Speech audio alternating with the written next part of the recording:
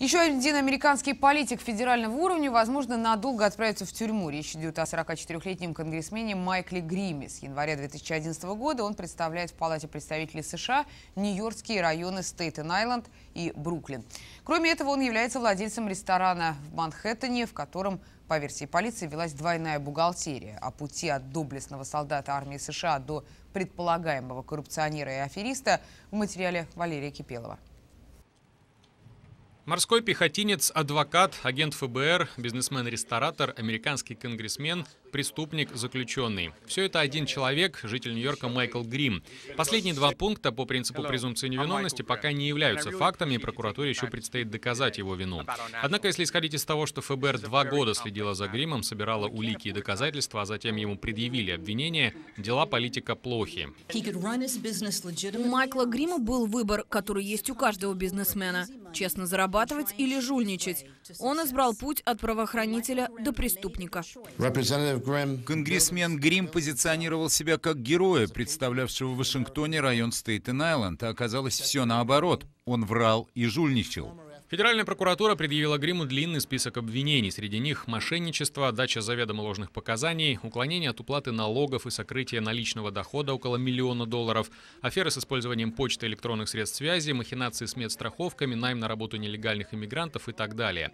Обвиняемому в случае доказательства вины по всем 20 пунктам грозит такое же ровное число лет за решеткой – 20.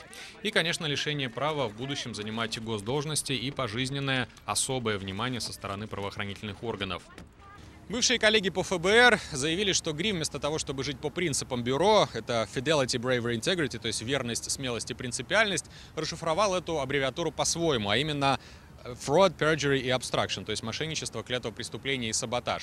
Пока Майкла Грима отпустили под залог в 400 тысяч долларов, выйдя из здания суда, он назвал все происходящее политической охотой на ведьм и заявил, что абсолютно ни в чем не виновен.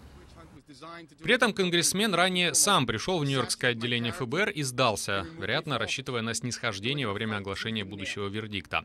Коллега Грима по республиканской партии, спикер Палаты представителей Джон Бейнер, одобрил недавнее решение конгрессмена выйти из Комитета по финансовым вопросам. Я считаю, что все члены Конгресса должны соответствовать высочайшим этическим стандартам. Мистер Грим, находясь под уголовным следствием, сложил свои полномочия в Комитете Палаты, и это было правильно правильным решением. На звонок RTVI в офисе адвоката Грима Уильяма МакКинли сообщили, что защитник занят и на момент звонка не мог давать комментарии. Наша съемочная группа побывала в Стейтен-Айленде, где живет Майкл Грим. Его дом, вы видите сейчас его на своих экранах, является гарантией кредита, который законодатель взял, чтобы оплатить залог в прокуратуре и не ожидать суда в камере предварительного заключения.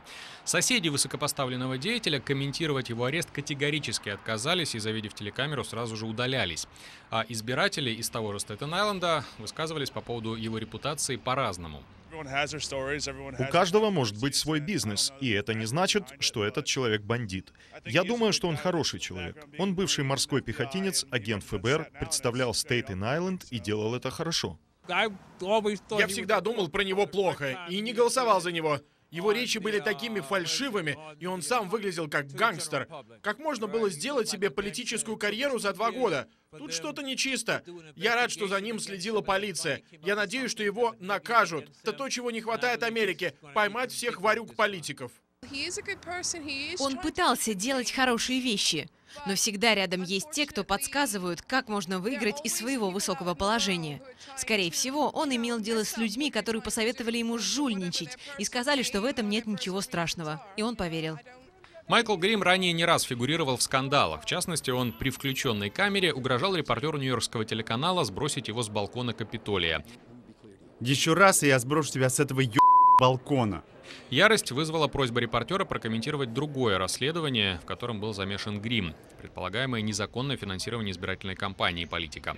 Помимо этого, ранее, находясь в состоянии алкогольного опьянения, Грим, по словам свидетелей, угрожал бывшему мужу своей спутницы жестокой расправой. Примерная цитата с учетом цензуры, конгрессмен пригрозил сделать так, что тот исчезнет и никто никогда его не найдет. Похоже, скоро за решеткой исчезнет сам Майкл Грим. Валерий Кипелов, Анна Сатьяни, Ксения Муштук, Александр Бабаев и Анатолий Кашенко, RTVI, Нью-Йорк.